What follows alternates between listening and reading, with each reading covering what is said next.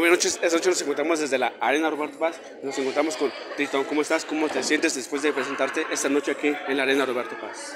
Me siento muy contento, la verdad, como siempre ustedes lo, han visto en cada arena que me presento, entregándome al 100 para toda esta bonita gente que paga un boleto por venir y vivir un gran espectáculo de la lucha libre. Aquí, siempre que vean a Tritón en carteleras, siempre se llevarán el mejor espectáculo.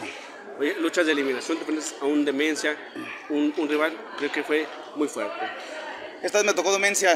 Yo pensé que me iba a tocar con Willy Valderas. No se pudo, pero lo estaré buscando para otra ocasión. ¿Por qué? Porque me interesa el campeonato que trae él, tal, tal igual como el de Demencia. Pero ahorita ya estaba muy cansado, no tenía mucha condición. Pero después quiero una revancha por su campeonato. ¿Por qué no, como ya mencionas, llevarte ese Master Champions? Ya tienes un campeonato rudo, ahora coronarte como Master Champions. Sí, la verdad, ahora en mi regreso, ya que estuve 10 meses fuera, estuve en Estados Unidos, ahora que regreso, quiero regresar por todo, recuperar mi puesto. Campeonatos, cabelleras, máscaras, lo que sea, estoy disponible para todos ellos. Creo que próximamente te estarás presentando en una arena Tonaltecas.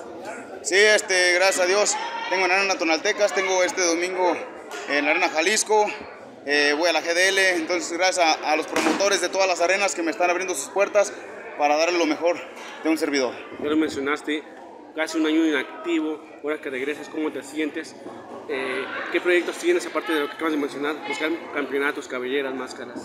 Pues, pues yo me siento preparado, ya que cuando estuve en Estados Unidos también estuve trabajando con mucho gringo, entonces yo creo que aprendes de todo y ya cuando llegas otra vez a México, parece que le metes variación a lo que trae uno y es lo que te hace la diferencia. Pues, pues muchísimas gracias, Titón. Un saludo gracias para 11. ¿A quién? Selección 11, Selec 11. Selección 11, un saludote, gracias por su apoyo y aquí está el rey de los siete mares.